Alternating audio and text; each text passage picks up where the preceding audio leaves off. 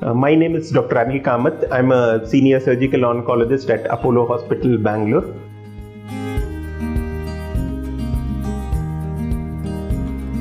Will treatment for cervical cancer affect the chances of the lady having children? The answer is definitely yes. This is because uh, uh, since the uterus is affected and surgery involves removal of the uterus, the chances of the lady conceiving uh, after treatment for cervical cancer is virtually non existent.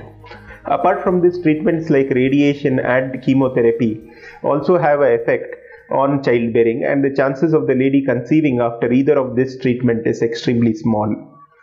But for those young ladies who are affected with cervical cancer, and if they are in early stage, there are certain types of surgeries, uh, especially called uh, radical trachelectomy, in which only the cervix is removed and uh, the upper part portion of the uterus can be preserved, and these ladies can have children.